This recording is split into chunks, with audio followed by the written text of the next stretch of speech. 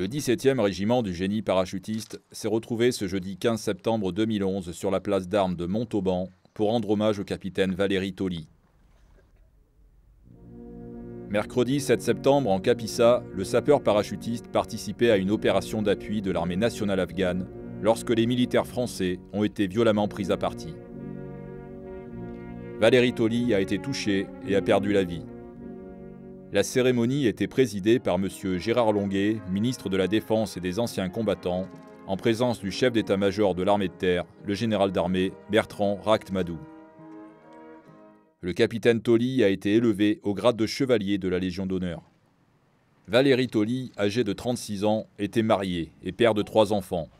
Il s'était engagé il y a 14 ans en tant que sous-officier, puis avait rejoint le corps des officiers en 2007. Ses très belles qualités humaines et son sens de l'équité lui ont toujours permis de s'attacher l'estime immédiate de ses hommes.